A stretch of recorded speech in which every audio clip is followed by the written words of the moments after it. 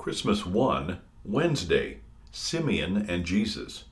And Jacob called the name of the place Peniel. For I have seen God face to face, and my life is preserved. Genesis 32, verse 30. Dear redeemed, Jacob, Genesis 32, and Simeon, Luke 2, had a number of things in common. They were both sinners descended from Adam, and they were both saints, declared righteous in God's sight by grace through faith in the Savior. In addition, both men had held the Son of God in their arms, Jacob by wrestling with him until God's blessing was received, and Simeon by holding him in his arms, which was a blessing. In addition, both men saw God face to face, and their lives were preserved. Simeon is often portrayed as an old man and or as a priest. The scriptures do not speak of either.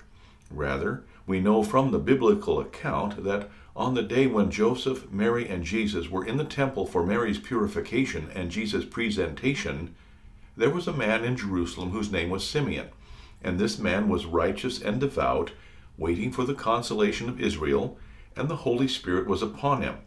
It had been revealed to him by the Holy Spirit that he would not see death until he had seen the Lord's Christ. And he came by the Spirit into the temple. When the parents brought in the child Jesus to do for him according to the custom of the law, then he took him up in his arms and blessed God and said, Lord, now let your servant depart in peace according to your word.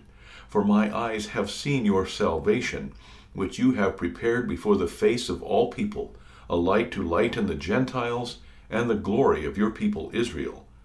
Luke 2, verses 29 through 32. These are the words of the Nunc Dimittis, sung often in the divine service, following the Holy Communion of Christ's body and blood with the bread and wine. In blessing God, Simeon also spoke concerning himself, that he could now depart in peace according to God's gracious word. He declared that by looking at the baby Jesus, he was seeing the Lord's salvation prepared for the Gentiles, or the nations of the world.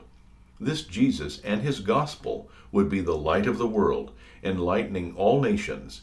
Jesus would also be the glory of Israel, the name given to Jacob and to his descendants.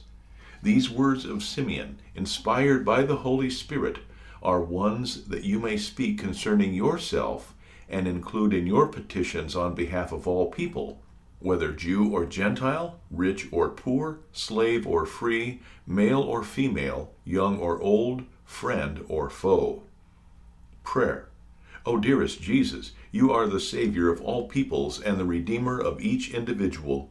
May your word not be bound, but have free course among the nations, tribes, times, and peoples, that all may hear your law and gospel as each one needs.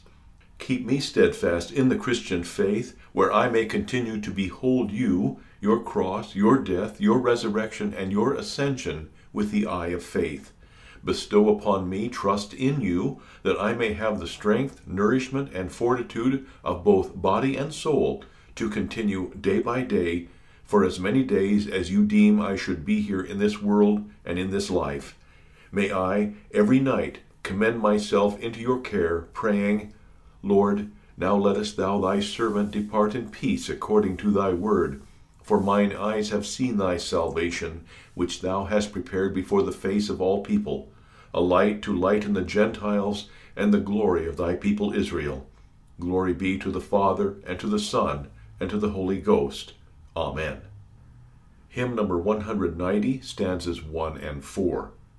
Light of the Gentile nations, thy people's joy and love, drawn by thy Spirit hither, we gladly come to prove thy presence in thy temple, and seek with earnest mind, as Simeon once had waited, his Savior God to find.